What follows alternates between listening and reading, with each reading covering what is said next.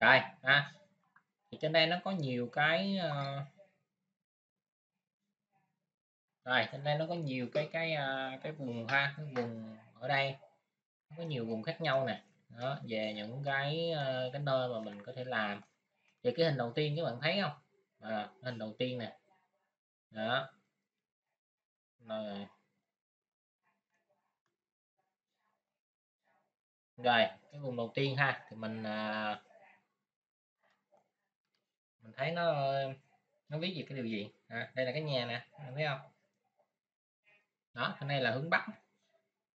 Đó. Thì đây là cái vùng lạnh ha. Vùng lạnh thì sao? Vùng lạnh thì nó bị cái gì? Đó. vùng lạnh ha. Ở nhà ở vùng lạnh này. Thì giảm thiểu bề mặt ha. Giảm thiểu bề mặt của tòa nhà tiếp xúc với độ ẩm thấp. Diện tích bề mặt của một tòa nhà giảm sự tiếp xúc với nhiệt độ thấp. Đó. Tối đa sự hấp thụ của ánh sáng mặt trời và giảm sự mất nhiệt ha, bức xạ dẫn tới bay hơi. Dẫn tới bay hơi đó. cung cấp và bảo vệ gió ở vùng khí hậu lạnh ha.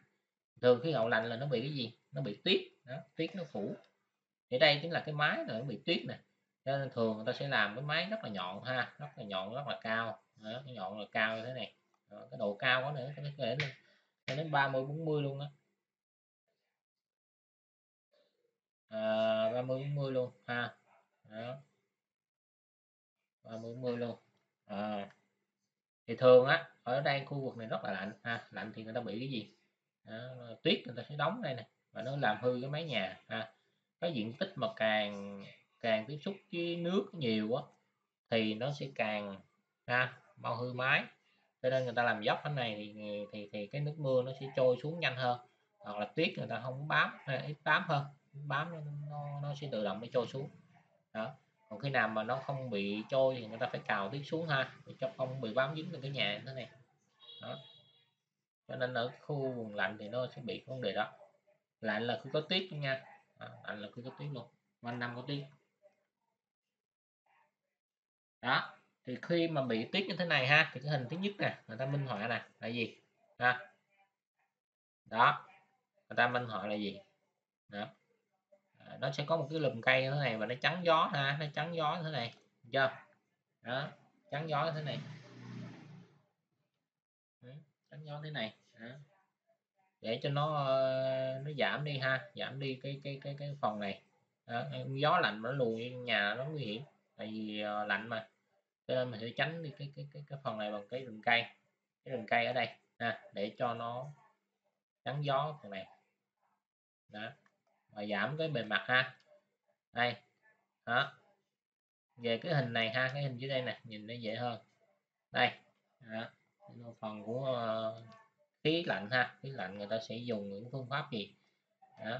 thứ nhất là nếu có mặt trời ha mặt trời nó dọi đây nè thì người ta sẽ lấy hết ánh sáng người cửa nè thấy không? Cái cửa và nó cho ánh xạ vô cái bức tường như thế này. Thì bức, bức tường này nó sẽ hấp thu được ánh sáng trực tiếp luôn. Nhớ nha xài ánh sáng trực tiếp nha và nó hấp thụ thẳng ở trong cái nhà như thế này cái tường như thế này. Và nó giữ nhiệt độ ở cái tường này để cho nó làm ấm cái nhà. Đó. Nó tận dụng tối đa ánh sáng mặt trời ha. Để nó dùng cho cái cái khu vực nhà của họ. Đó. Ở trên mái thì người ta sẽ dùng một cái lượng ha lượng cái cái vật liệu có thể cách cách nhiệt ở mái này. À, có thể dùng những cái vật liệu sốt đó. Rồi vật liệu về cách nhiệt nó có thể giúp cho mình ít đi ít, ít tiếp xúc đi. Ví dụ ở ngoài nó lạnh nhưng ở trong nó vẫn vẫn có cái nhiệt độ ấm ha. Đó. Và máy kính này là gần như máy kính ha. Máy kính lấy hết ánh sáng để nó, nó phản xạ đây. Đó. Về cái tuyết thì thường nó sẽ bao phủ quanh năm. Đó. Ở những cái khu này thường nó sẽ có làm những cái mương à, mương trống chống ngập úng à, khi khi mà cái cái tuyết nó tan đó. Rồi hoặc là mình sẽ làm những cái phần này ví dụ phần, phần ngầm chẳng hạn. Thường ở trên đây là lớp tuyết cho nên thường người ta sẽ làm những cái phần ngầm á phần âm xuống đây nè. Đó phần âm xuống đây. Đây là cái hầm à, và nó gì? Nó sẽ âm hơn so với cái mặt đất đó. Đó, so với cái tầng lớp của tuyết thì nó sẽ đỡ lạnh hơn đó. Và nó sẽ có cái ống ha ống này. Đó ống này là ống làm mát à, mát để làm gì để sử dụng cho mùa hè. Đó. mùa hè ví dụ ở đây nó nóng chẳng hạn thì ở đây nó sẽ có cái có cái ống để nó có thể làm thông nhiệt ha thông nhiệt độ ở đây. À, nó giúp cho cân bằng cái nhiệt độ. Hoặc là người ta sử dụng gì? Sử dụng những cái hệ lấy máy tuyết đó để người ta lấy cái nước ha lấy cái nước và cái nước này nó sẽ dùng cho cái nước sinh hoạt ở trong nhà. Đó. Đó, ở trên máy có những cái gì? Cái năng lượng mặt trời. Đó, năng lượng mặt trời để giảm thiểu ha. Ở đây thì nó sẽ có cái luồng gió ở dưới nè. Thì nó sẽ giảm thiểu cái mức độ tiếp xúc ngoài trời và nó hấp thụ năng lượng trực tiếp mà nó lấy điện năng trong nhà ha. Cái năng lượng trời nó lấy điện năng trong cái nhà của mình. Đó. Ừ. Rồi tránh tình trạng về gió nha. Ví dụ gió ở đây nó, tình trạng nó lùi trong nhà thì người ta không nên ha. Không nên. Người ta có thể trồng những cái hướng cây như thế này những cây xanh lớn như thế này đó để chắn được cái lượng gió. Ngăn cái gió nó lưu lưu thông trong nhà ha. Đó nhưng mà thay vì lưu thông trong nhà xong mình sẽ dùng cái gì? Dùng những cái cái thiết bị ha thiết bị làm gì? À, làm ấm sàn à, thiết bị làm ấm sàn nè hoặc là nó sẽ giúp cho điều hòa cái không khí ẩm ở trong đây. Trong đây chắc chắn nó sẽ có không khí ẩm mà càng ẩm thì không khí lạnh nó càng nhiều cho nên người ta sẽ dùng những cái gì? Những cái hệ thống điều hòa cái khí ẩm này để giúp cho cái nhà nó sẽ không bị rét ha rét. Có những nơi người ta ta lạnh âm hai ba mươi âm hai hai mươi ba mươi nhưng mà nó vẫn ờ, nó vẫn ok. Đó. À, à, vẫn ok nhưng mà có những cái lạnh như là người miền Bắc mình chẳng hạn. Thì người người nước ngoài qua đây người ta chịu không được. Cái lạnh ở Hà Nội tại vì cái lạnh ở Hà Nội hay là lạnh ở miền Bắc nó nó rất là rét. Đó. Tại vì nó có độ ẩm cao ấy, nên nó sẽ gây ra cái rét cao. Cho nên khi mà mình sử dụng cái độ ẩm đây mình có thể làm xử, xử lý cái độ ẩm trong đây ha để cho cái cái độ rét nó không có bị nhiều. Đó, đó là những cái cái cái ờ, cái mô hình ở, ở mặt trời ha mô hình ở ở vùng lạnh. Đó mình sẽ xử lý như thế. Ha đó nhà kính ha. nó cây cối ha cây cối xung quanh à, đây là cái à, giảm thiểu cái à, cái vị trí ha gió nó nó, nó chạy thẳng vào nhà đó.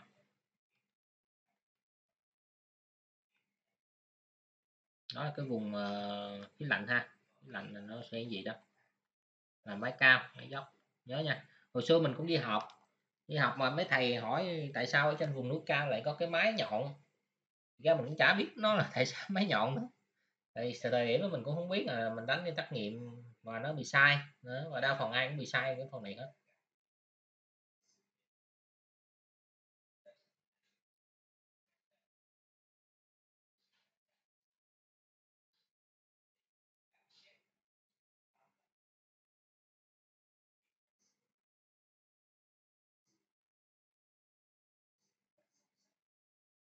Đó bây giờ mình hiểu tại sao là cái máy nó phải phải phải nhọn chưa? Đó là những cái bài học hồi xưa mình học mà mình cũng biết sao luôn thấy thầy đón với thầy dị nhưng thực ra cũng không hiểu tại sao nó lại máy nhọn. Và nó có những cái thiết kế thiết kế gì? Thiết kế uh, thiết kế những cái gì? Uh, trạm y tế vùng cao. Đó là cái một cái đề án mà trong trường đại học ra đó nhưng mà cũng không hiểu tại sao phải dùng cái máy nhọn như vậy đó thì bây giờ mình cũng đã hiểu một phần là do gì? Do cái xúc tuyết nó rất là nhiều nên nó gây cho cái ảnh hưởng cái tuyết ha. Cho nên là mình phải làm cái máy nó cao để cho cái độ bám dính nó không nhiều. Đó.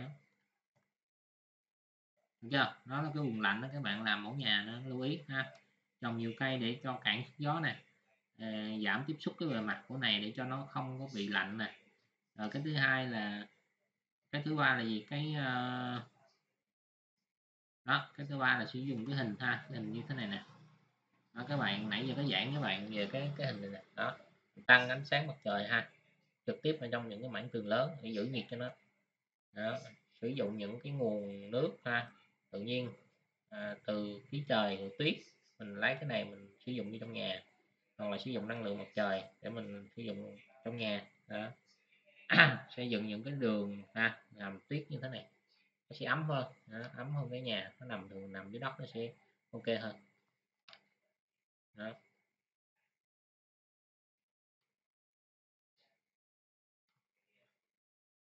rồi về vùng ung đới ha. Ung đới thì nó nhẹ nhàng hơn. Ung đới thì có có lúc lạnh có lúc lại mát có lúc lại nóng. Đó. Thì vùng ung đới này mình cũng sẽ trồng cây. Chưa mình cũng sẽ trồng cây xanh như trong cái nhà. Thứ nhất là gì nó tránh trong cái hướng ha. À, trồng cây xanh cái này nè thì ôn đới nó vẫn trồng cây xanh nhưng mà nó sẽ sao? Nó sẽ giúp cho tránh được cái lượng gió ha, ở mùa lạnh. Và nó phải tăng cái độ bóng cái độ bóng mát cho cái mùa hè. Mùa hè nó nóng thì mình phải tăng cái, cái bóng mát cho cho cái cây này ha. Và nó tránh được cái lượng gió khi mà cái mùa cái mùa đông về ha. Thì vùng ôn đới nó sẽ bị phong gia chia nhiều mùa khác nhau. Đó vùng ôn đới nó hay nữa đó. Đó hệ thống sưởi ha đó, và mình có thể những hệ thống sưởi chẳng hạn ừ, hệ thống sưởi trên tường này cái đó thì thụ động rồi cái đó thì lắp thêm thì không nói rồi ha. Đó và máy điều hòa cái khí ẩm trong nhà đó.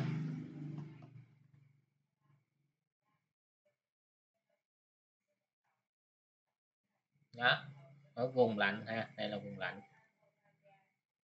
Vùng ôn đới ha ôn đới. Ôn đới thì nó sẽ khác một chút ha là sao?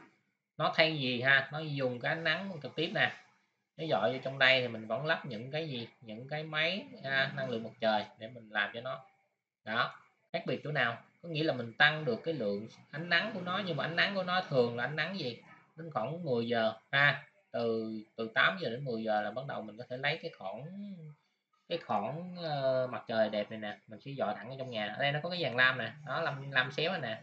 Để nó dọi được trong nhà và nó tăng cái tiếp xúc bề mặt này nó dọi thẳng ở trong nhà nhưng mà khi nó lên đến cái 11 giờ 12 giờ thì cái cái lam này nó sẽ ngăn lại ha. Cái lam này nó hay lắm, nó sẽ lam lại.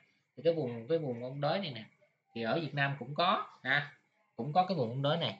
Nên khi các bạn sử dụng cái dành lam này cũng rất là hay, ha. lam lam trên máy thế này, các bạn có thể đúc bằng bê tông, ha. Bê tông xé thế này nè. Đó, để mình gì? Tận dụng những cái ánh nắng mặt trời ở vị trí gì? 8 đến 10 giờ là mình lấy ánh sáng mặt trời tốt để cho nó sưởi ấm cho cái nhà đó. Nhưng mà mình cũng đồng thời, ha, đồng thời ngăn nó ở vị trí gì? 11 giờ trở đi, đến 2 giờ, đến 4 giờ chiều là nó cũng sẽ ngăn được hết. Đó, cái lam này rất là hay nha các bạn. Các bạn nên nên tham khảo cái lam này. Đó. Còn vùng nhiệt đới là gì? Vùng nhiệt, vùng lạnh là mình lấy hết nha, lấy hết nha, lấy hết nha để mình lấy ánh sáng trực tiếp, lấy ánh sáng trực tiếp vào trong nhà, ha. Rồi nhà thông gió thì cũng vậy ha ở đây cũng vậy đây cũng đường hầm dưới đây nó sẽ ờ, điều hòa không khí tốt ha. Nó lạnh về gì? Nó ấm về mùa đông và nó lạnh về mùa nó mát về mùa mùa hè ha. Đó rồi những cái vật liệu này cũng vậy ha. Các bạn phải có những vật liệu này. Đó để cách nhiệt cách nhiệt và chống nóng ha, cho cho những cái mảng tường này. Đó.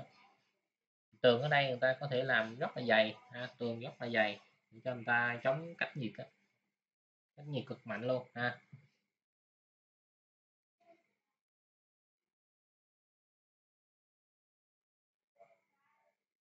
Rồi rồi mình có thể dùng cái điều hòa ha điều hòa cái cái cái, cái khí trời à khí trời cho nó có thể mình cái dùng cái hệ gì hệ cửa gì hệ cửa linh hoạt cũng được. Dùng cái cửa lam hoặc cửa linh hoạt có thể trời lạnh thì mình đóng nó lại nhưng mà cái cửa mà mà mà trời mùa hè thì mình có thể mình lưu thông gì gió ha lưu thông gió mát cho nó. Đó lưu thông gió mát cho nó.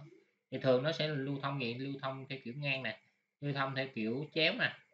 Đó được chưa? Không kiểu chéo như thế này. Đó cửa sổ máy này từ dưới người ta đi lên như thế này. Đó lưu thông cửa cho nó. Rồi con sử dụng những cái tính năng về về, về cái uh, năng lượng ở ngoài trời nha để mình sử dụng đây là lưu tiên nào mình sử dụng năng lượng ngoài trời hết năng lượng về ờ, gió nè đó, năng lượng về tuyết nè đó năng lượng về gì tuyết với mưa nè ha. năng lượng về mặt trời nè đó là những cái năng lượng mà mình còn tận dụng để mà lấy nó đây là một cái nhà ở vùng ôn đới ha thường mình sẽ xây nhà theo hướng này đó. nó sẽ khác nhau một chút ha là vùng khô nóng ha ở đây có những cái khu vực vùng khô nóng nè. Đó mình có liệt kê những cái quốc gia thuộc những cái cái vùng khô nóng ha. Sau này liệt kê những quốc gia về, về mùa lạnh nè. Rồi những quốc gia gì thuộc về vùng uh, nóng nè khô nóng nè. À, khô nóng thì nó ở đây nó này nó đã vừa khô rồi nó vừa thiếu nước rồi vẫn còn nóng nữa. Nó khô thiếu nước còn nóng nữa. Thì cái vùng này cũng khá là khá là ấy ha. Thì thường nó nằm ở những vùng nào? À, những nằm vùng nào? Đó những vùng khô nóng như thế này. Đó. Mỹ nè có Bắc Mỹ nè. Những cái nơi mà các bạn coi những cái ờ, vùng đất hoang dã đó à, những cái cao bồi đó. Đó. Nó thiếu nước đó. Hay là các bạn coi uh, coi về cái uh,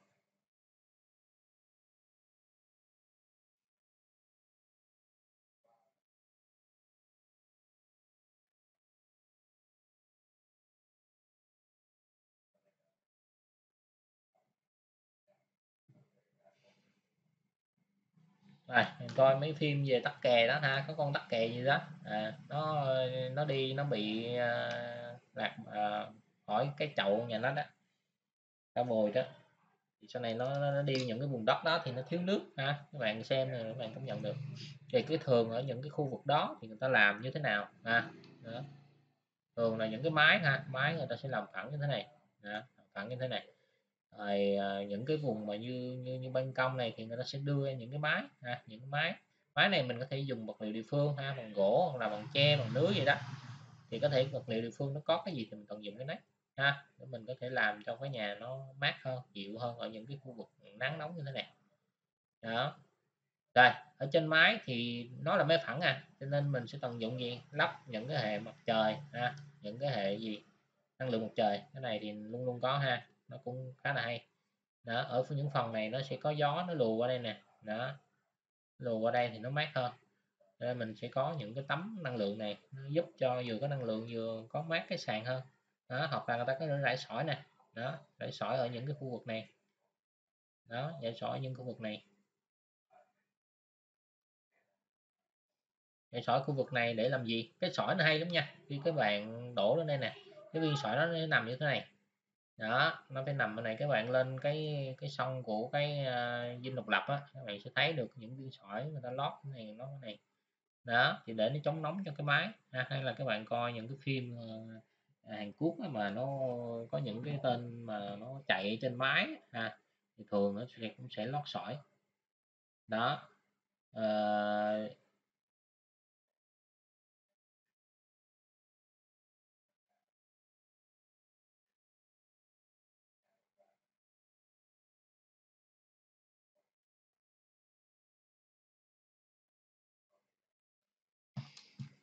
đó viên sỏi nó hay lắm ha. Khi mà nó nóng ở đây nè nó nóng nó tán xạ trong cái này nè thì nó sẽ bể cong bề mặt ha nó không có tán thẳng ở đây. Nó không tán lên bề mặt này mà nó có thể nó nó, nó phản xạ đây phản xạ ở đây. Nó không có theo chiều hướng nào hết. Đó phản xạ ở đây thì nó sẽ gây cho cái cái nhà này nó sẽ à, đỡ nóng hơn cái cái mặt tiếp xúc này với lại so với mặt trời nó ít hơn. Và giữa những cái viên sỏi này nó sẽ có điều hòa không khí nè điều hòa không khí tốt. Đấy, nó cũng rất là hay ha. Bạn nghiên, nghiên cứu lót sỏi cho bề mặt của những cái vùng này. À, vùng nóng này. Đó. Thì cây cũng vậy ha. Thì cây các bạn trồng thì cũng nguyên tắc là gì? À, có bóng đổ vào mùa nóng. Tránh hướng nắng ha. Và các bạn tận dụng ha. Thường những cái này nó sẽ rất là ít nước cho nên nó sẽ tận dụng gì? À, nó tận dụng nó sẽ xây bể xây hồ đó, xây bể hay cái phần nào đó để nó lưu trữ cái cái gì lưu trữ nước mưa ha lưu trữ nước mưa à, để cái ngày mưa nó sẽ tận dụng được cái lượng nước mưa đó.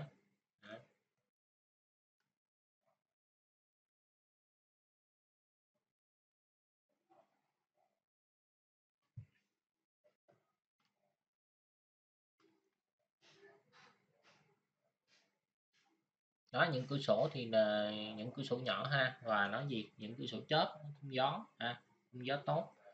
Thì ờ, mình chú ý ha, thêm những cái cửa sổ mà nó có cửa sổ chớp nè, nó sẽ dùng cho cái những cái không gian về nóng như thế này, lưu thông gió ha.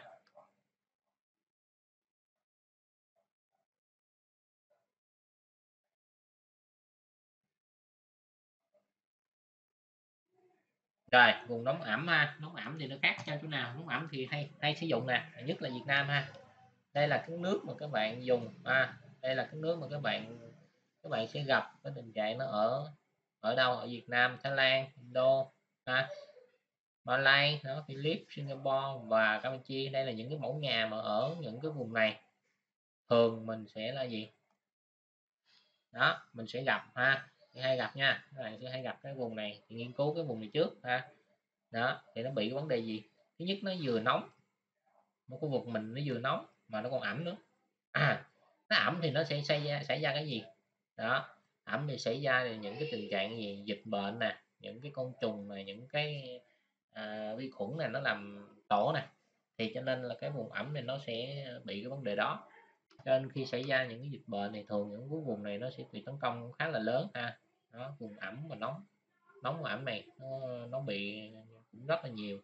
Vùng lạnh thì họ nói rồi vùng lạnh thì luôn quanh năm sáu tháng rồi nó ẩm ướt rồi.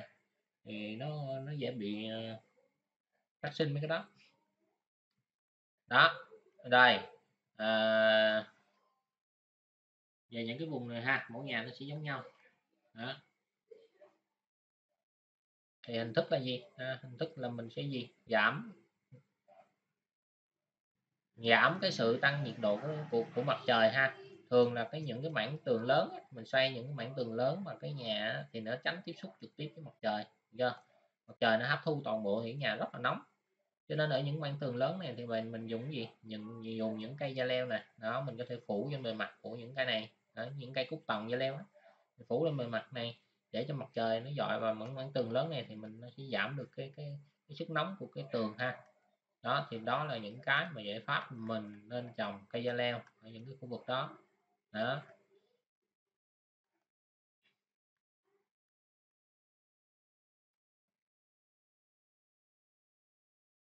Đó sử dụng gió để khuyến khích làm mát bằng bay hơi ha. Rồi cung cấp bóng mặt trời cho cửa sổ và không gian ngoài trời. Đó. Nhiều khi những cái xung quanh này mình có thể thiết kế cho nó. À, thiết kế phòng khách rồi xung quanh phòng khách có những cái gì? Cái hồ nước nè nó vừa làm tiểu cảnh mà vừa giúp cho không gian nó mát hơn. Hoặc những cái tiểu cảnh cây trồng.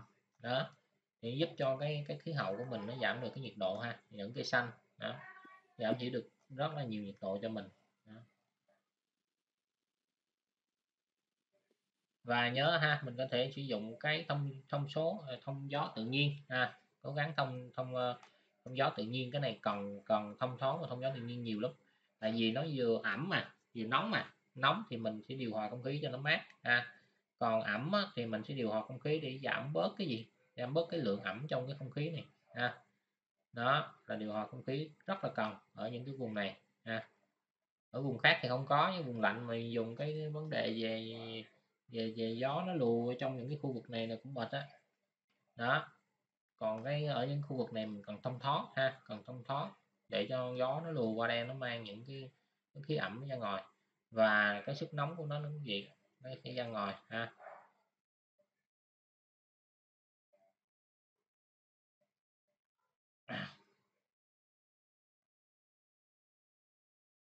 Rồi thông uh, ờ,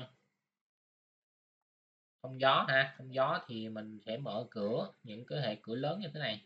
Đó để mình thông gió cho nó thông gió để dùng thông gió ngang nè. Hoặc là ở những cái cửa sổ mái này nè cửa sổ trên tường này nè thì mình có thể dùng thông thông ờ, gió chéo như thế này. Hoặc là ở trên những cửa sổ mái thì mình hay thấy cái những cái nhà công nghiệp đó, nó có cái nóc như thế này nè. Nóc gió này rất là hay ha. Đó nó sẽ luồn ở đây bắt đầu nó luồn ở trong cái này nó ra ngoài. Luồn bên đây cũng gì và nó luồn ở đây luồn kéo ở đây ra ngoài. Này cái khí nóng là nó có cái sức gì? Nó có sẽ có cái hướng đi là nó sẽ bay lên cao.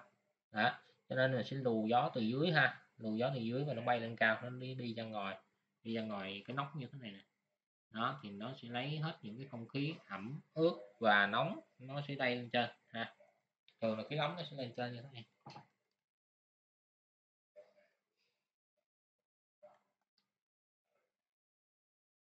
Vật liệu xây dựng ha thì mình có thể mình lấy những cái vật liệu như là uh, gỗ uh, gạch nung đó.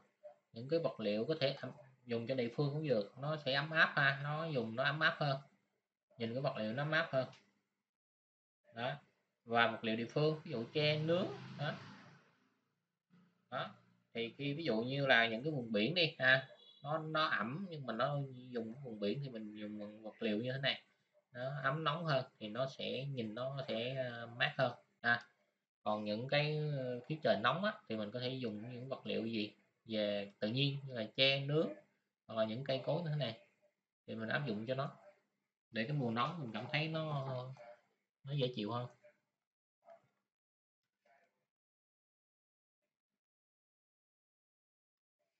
Rồi ở đây ẩm nước ha ẩm nước thì sao? Ẩm ẩm thì nó sẽ mình cũng sẽ dùng cái máy cái máy như thế này. Cái máy này mà càng dốc á ha cái máy này các bạn lấy khoảng tầm 30 40 gì đó nó càng dốc á, thì cái lượng nước mưa nó ảnh hưởng đến cái nhà này. Tại vì ở những khu vực này mưa rất là nhiều cho nên nó sẽ động ở trên máy.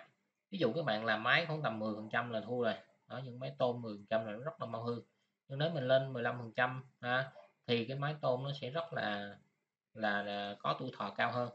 Đó thì trong trường hợp này mình sẽ dùng những máy dốc ha cho những cái kiến trúc ở những cái khu vực như thế này để cho cái máy này nó tốt hơn. Nó ít được động nước mưa hơn ha.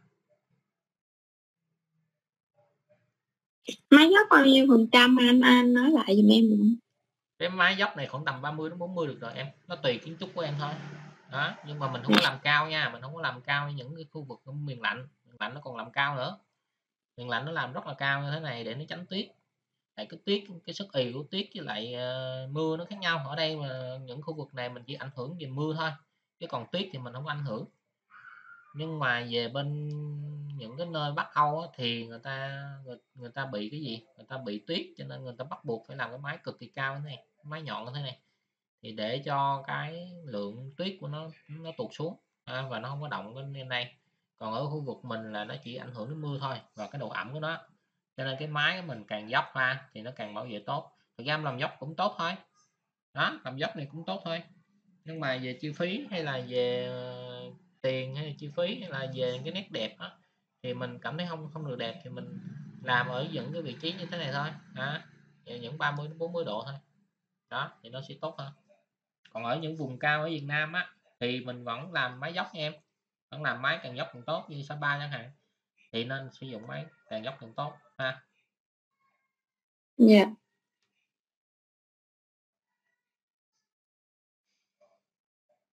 Rồi mình cũng sẽ có những cái cây bao quanh nhưng mà cây này là sao? Cây này mình cũng ờ, không nhất thiết phải tránh gió ha. Đó mình có thể làm cái ờ, nó sẽ điều hòa tốt cái lượng gió cũng được. Đó, điều hòa tốt cái lượng gió cũng được cũng không cần nhất thiết phải tránh gió. Nhưng mà nó sẽ giúp cho em cái bóng đổ ở mùa hè nó sẽ không có nó không có bị bị nóng quá ha.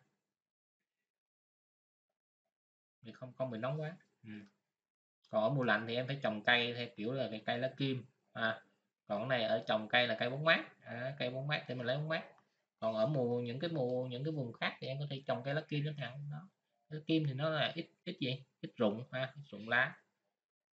Cái độ rụng lá cũng quan trọng lắm. Tại đến mùa mà mình cần mình cần đến mùa nó nó nó trắng gió mà cuối cùng đến mùa nó lạnh cuối cùng nó rụng hết nó đâu được.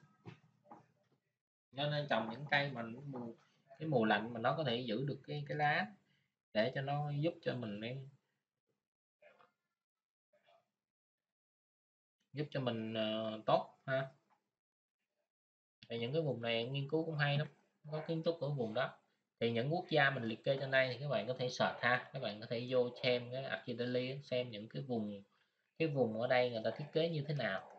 Đó thì mình nghiên cứu tại sao người ta thiết kế vậy ha. Dựa trên cái bài giảng hôm nay của mình các bạn vô xem. Đó. Còn ở đây thì mình khuyến khích ha, những cái mặt trời thì mình không có lấy trực tiếp từ máy nha, không lấy trực tiếp từ ánh sáng máy, chỉ có miền lạnh thì người ta lấy thôi.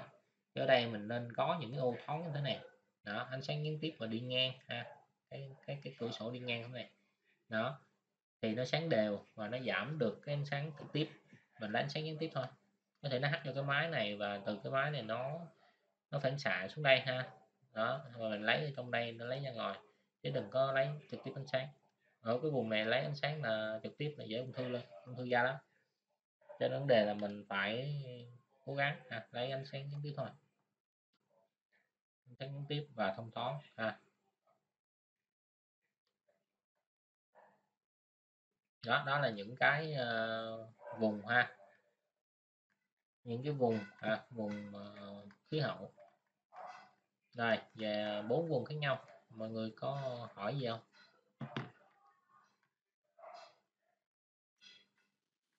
Ủa anh nhà ở miền nhiệt đới ví dụ Việt Nam á ở mấy vùng nóng ẩm á, thì mình mở cửa ờ, càng nhiều. Ý là mình thiết kế cửa ờ, cửa sổ đồ nhiều thì nó sẽ thông thoáng thông gió tốt hơn đúng không? Đúng rồi Chiến trời với- ủa? Tại vì biết sao ở Việt Nam mình nó bị cái gì bị thứ nhất là bị nóng. Nhưng mà nóng ở đây nó lại mưa nhiều.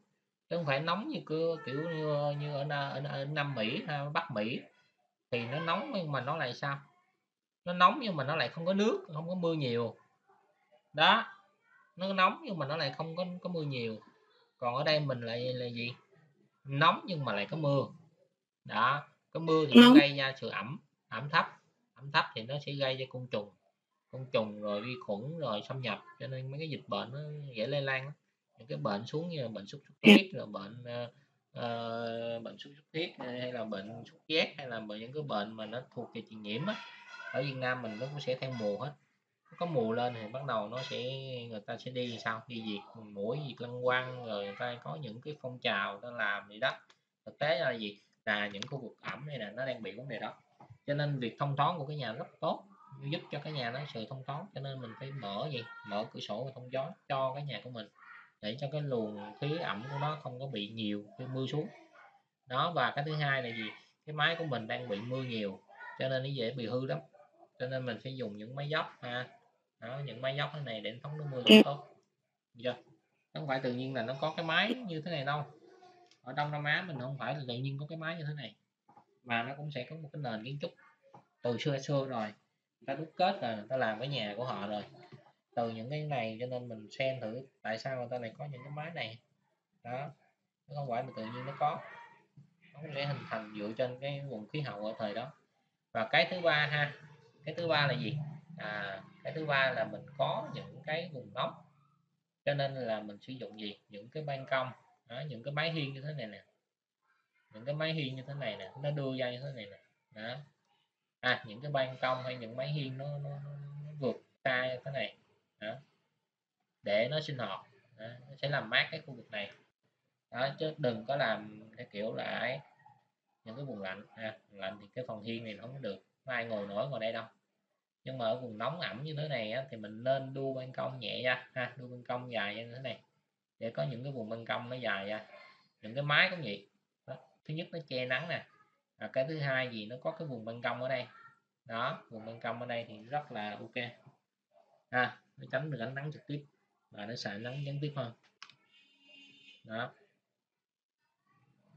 Rồi về cái phần năng lượng thì mình cũng làm đi làm lại những kia thôi. Nên có những cái hệ thống năng lượng mặt trời trên đây. Đó. Còn ở những vùng mà như là vùng miền Tây chẳng hạn hiện nay miền Tây rất là ngập mặn. Thì bây giờ người ta đang sử dụng gì? Sử dụng những cái hệ người ta có thể thêm những cái khạp hoặc là những cái lưu, đó. những cái lưu như thế này. Thì khi mưa xuống người ta có thể chứa những cái lưu đó. Hoặc người ta chứa những cái hầm luôn người ta xây những cái bể luôn để người ta người ta chứa những cái lượng nước đó. Đó để người ta sử dụng.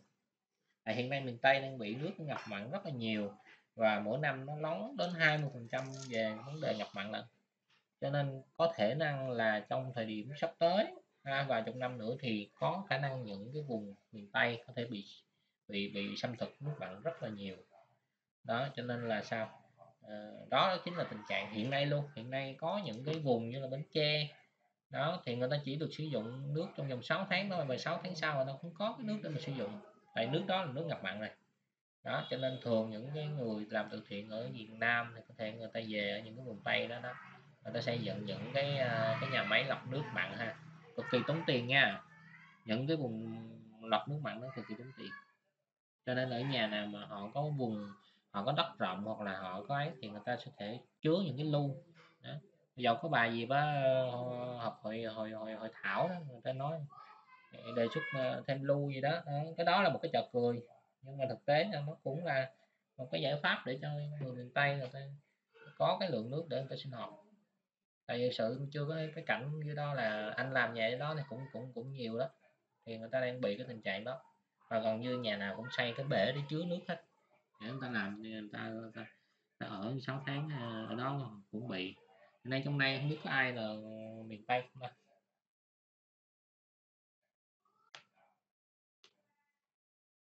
Anh em là miền tây không?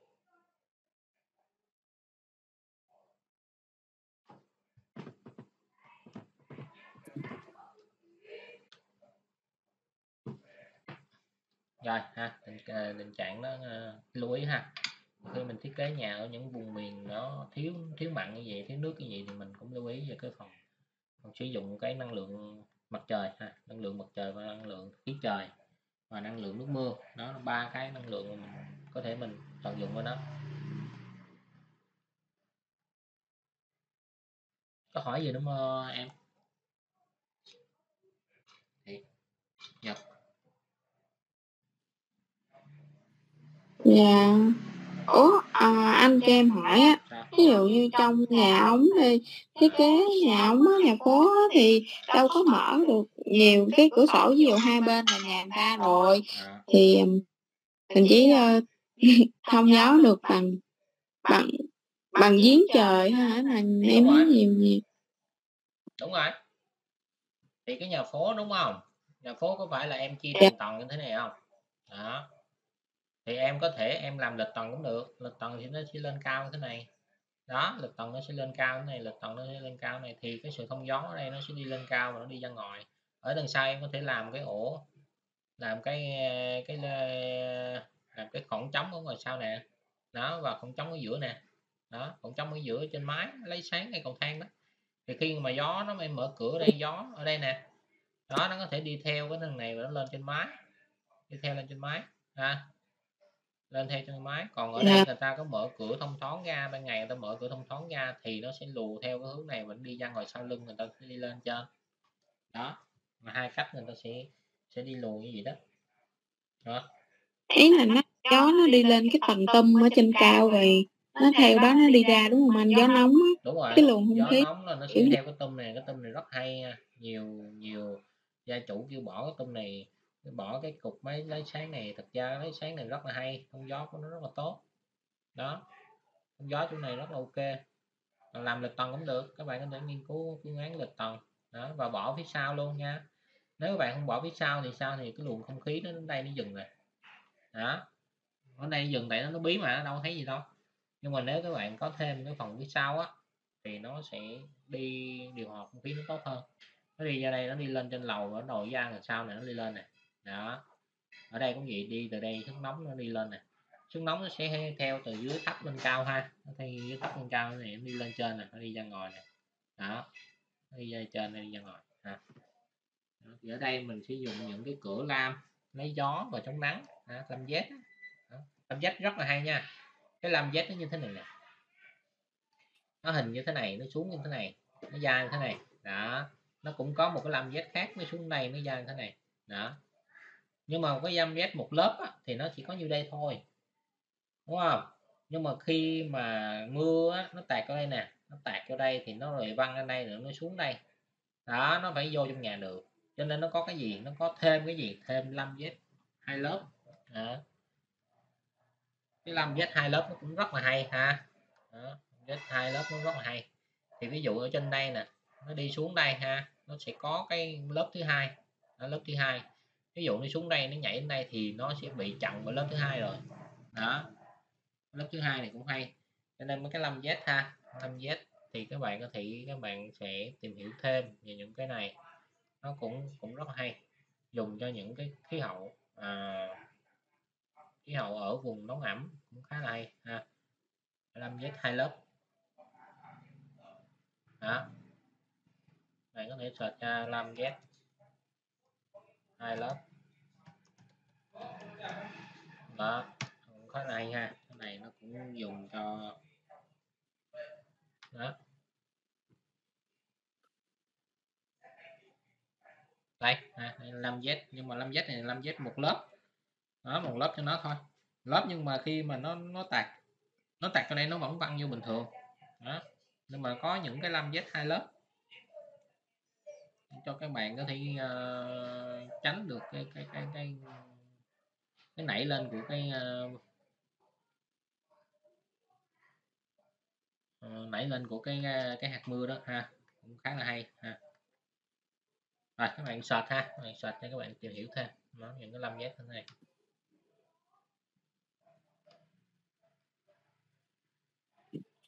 Rồi hỏi gì thêm không uh, em? Nhật dạ. Ừ. em ủa anh cái cái cái cái tầng tông á à, là đâu buộc là phải làm máy kính lấy sáng đâu đúng không? Nó là một cái tầng sân thượng ở trên thôi thì nó cũng không gió được mà. Ừ, anh anh đúng anh rồi. ví dụ giùm em ví dụ ở đây đúng không? Ở đây nó có cái tum đúng không? Ở đây nó có cái tum đúng không dạ. À ở đây nó có tum thì có phải nhà phố của mình là thiếu ờ, nắng không? Đúng. Ở thiếu nắng. Nó thiếu nắng. Thiếu. Nắng thì bây giờ Dạ. giải pháp làm sao?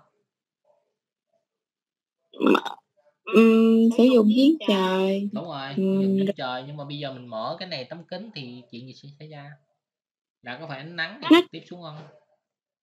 Dạ đúng. Trực tiếp xuống nó có nóng không nóng. Đúng rồi tại vì cái vùng nhiệt đới mình Dạ. hạn chế sử dụng những cái gì? Những cái những cái à, ánh nắng trực tiếp. Chỉ có những cái vùng lạnh thôi là mình sử dụng ánh nắng trực tiếp càng nhiều trực tiếp càng tốt. Ánh nắng nó dọi vô trong tường này thì càng tốt. Ở đây ánh nắng dọi vô càng thì càng tốt càng nhiều càng tốt. Đó. nhưng mà riêng ở ở những vùng nóng ẩm như Việt Nam này thì thì mình sử dụng ánh nắng mặt trời tốt không? Không tốt ánh nắng rất là là, là nguy hiểm. Tại vì ánh nắng nó đến nhiệt độ nó đến rất là cao. Thấy không? Nó đi bộ với sư minh tuệ không? Mấy người mà bây giờ cũng ngáp ngáp rồi đó. Cho nên cái nắng ở này kinh lắm. Mình không có sử dụng trực tiếp được. Đi ngoài trời là chết luôn á. Dạ. Nha. Cho nên mình sẽ có giải pháp gì? Hồi nãy mới mới mới chỉ đó. Giải pháp gì? Mở sân sau đó mở này em vẫn làm cái máy lấy sáng xuống nhưng em sẽ hạn chế. Mình lấy từ 8 giờ đến 10 giờ thôi. Đây này đây vùng ôn đới đây. Hả được chưa? Thấy cái gì không? Dạ. à cái máy lấy sáng của nó nè. Thấy chưa? Dạ. Ờ. Cái máy lấy sáng này khác cái máy lấy sáng ở trên chỗ nào? Đây. À nó có mấy cái lam đúng không ạ rồi chính xác nó có mấy cái lam hiểu không? Cái lam này để làm gì? Dạ. Cái lam này để làm gì? Cái lam để làm gì? Để giảm bớt cái à, cái hạt cái cái sức nóng của mặt trời rồi giống khi, như nó khi mặt trời nó ở đây nè khi mặt trời nó từ 8 giờ đến 10 giờ có phải nó nằm đây không? Đó. Thì cái độ nắng của nó nó sẽ dọi vào trong đây nó nạt nó sẽ qua được những cái lam này và nó đi xuống được. Và ánh nắng mình rất là tốt ha. Ánh nắng này chính là ánh nắng cung cấp cho mình cái vitamin này nên tốt ha đó, nó giúp cho sức khỏe cũng rất là ok. Đó, từ khoảng 8 giờ đến 9 giờ là đẹp. Đó, 10 giờ thì nó nắng. Đó. có mùa rất là nắng 10 giờ có mùa rất là nắng. Cho nên đây mình có thể lấy từ 8 giờ đến 10 giờ ha. Nhưng mà 11 giờ có tốt không? Không. Đó đến 4 giờ chiều là gần như là không có tốt hiểu không? Thì từ cái khoảng này đến khoảng này thì nó không thể chiếu trong nhà được. Được chưa nhưng mà nó vẫn ánh sáng. Những cái lam này nó xéo gì chứ nhưng mà nó vẫn ánh sáng mình vẫn cần ánh sáng của mặt trời mà. Chứ nếu mà em không cần ánh sáng mặt trời cái cầu thang nó sẽ tối hiểu không? Cho nên là ánh Dạ. sáng chỗ này nó sẽ có cũng sẽ có ánh sáng chỗ này. Nhưng mà ánh sáng chỗ này nó là sao? Nó chỉ là phản xạ vô đây rồi nó phản xạ vô tường thôi chứ nó không có ánh sáng trực tiếp. Nó vẫn sáng đó, vẫn sáng và nó vẫn thấy được cầu thang vẫn ok. Nhưng mà nó không phải là trực tiếp được chưa hiểu không? Dạ. Rồi. Dạ rồi. Còn thông gió hồi nãy nói rồi đó. Thì một là thông gió ngang ha. Một là thông gió ngang luôn. Thì vùng ở vùng nhiệt đới nóng ẩm này thì mình có thể dùng thông gió ngang cũng được. Nhưng mà những cái vùng tuyết như thế này thì em sử dụng không được. Nó lạnh lắm. Thông gió ngang là chết luôn á. Quéo luôn á. Cho nên người ta còn trồng thêm cây để người ta giảm thiểu cái thông gió mà. Hiểu không? Dạ. À, và người ta sử dụng những cái cái công cụ để người ta có thể làm giảm đi cái cái khí ẩm ở cái này. Đó, ta làm tường rất là dày. Tường rất là dày để làm gì? Để ít chịu cái nhiệt độ ngoài trời. Ngoài trời đây có thể nó lạnh ngoài đây, nhưng mà nó lại trong đây, nó cách nhiệt trong đây. Nó giống như cái cái bình thủy vậy đó, cái bình phích vậy đó. Đó, ở trong thì nó nóng, nhưng mà tay mình cầm ở ngoài cái lọ đó thì nó lại rất là, nó rất là mát. Nó không có bị nóng ở trong. Nó chỉ nóng trong thôi chứ nó không có bị lạnh bị lạnh ở ngoài giống như cái bình phích gì đó thấy không? Cho nên thời thường Dạ. sử dụng những cái hộp xốp những cái chất liệu cách nhiệt à, những cái à, lõi à, à, những cái lõi à, thủy tinh đó bông thủy tinh để người ta cách nhiệt cách nhiệt cho nó. Sử dụng nhiều lắm hoặc người ta phun lớp foam lên lớp cách nhiệt á. Lớp đó cũng hay sử dụng nhiều lắm ở Việt Nam đối với những cái công trình container người ta người ta xịt lên đó người ta làm những cái cái, cái văn phòng container ta xịt lớp giữa là lớp foam đó. Foam đó nhiều foam đó foam chống cháy foam cách nhiệt đó. Thì có sử dụng cái đó cũng được ha. Ở cái vùng này nó cũng hay dùng cái đó đó. Dạ. nó làm gỗ hai bên vậy chứ nó ghép lại với nhau nhưng mà ở giữa nó lại có cái lớp foam đó rất là ok luôn cách nhiệt tốt. Ha chưa rồi hỏi thêm về ờ, về cái ờ, cái kiến trúc về vùng nào không? Được chưa? Thì ờ, ở đây nó có cái hình nè. Đó, hình này rất là quan trọng nha. Em có thể dịch ra em xem. Hoặc là tài liệu anh có dịch hết rồi nè. Em có thể dịch xem ha. Tài liệu này thì anh chưa có công bố được. Đó, tài liệu này anh viết cho cho cái quyển sách của anh thì anh cũng chưa có công bố được. Đó từ, nhưng mà anh sẽ dạy trong đây nhiều cái kiến thức trong đây, ha.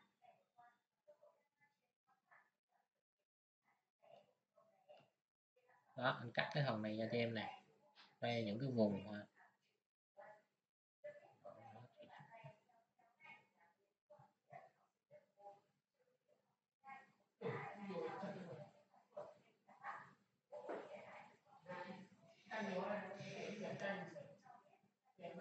được chưa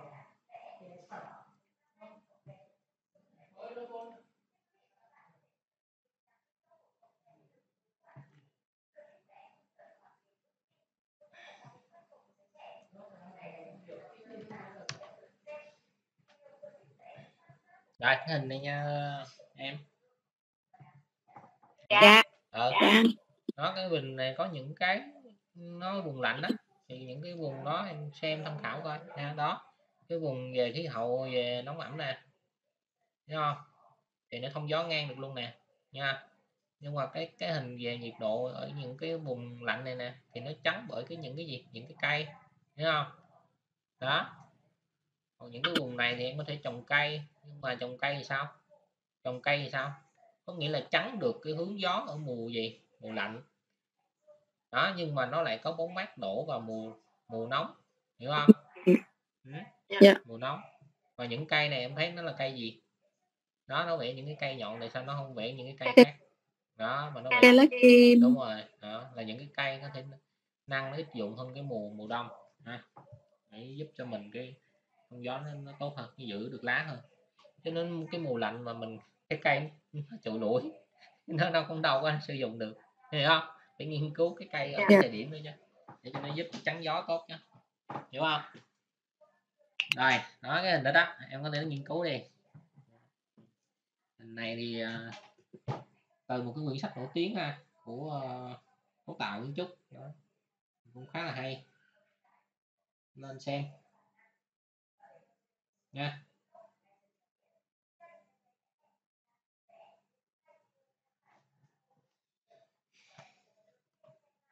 rồi, có hỏi gì không? Ờ, trả lời nè.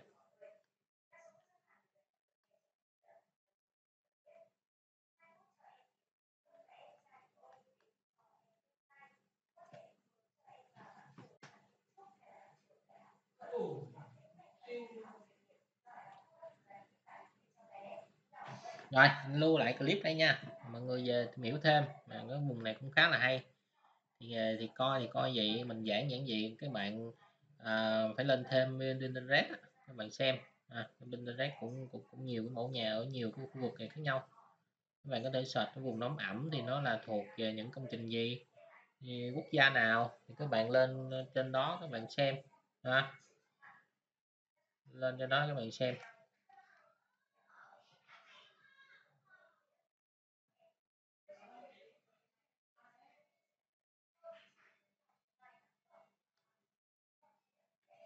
ồ, nãy có có lưu lại clip không ta? Hình như mình không có lưu clip rồi.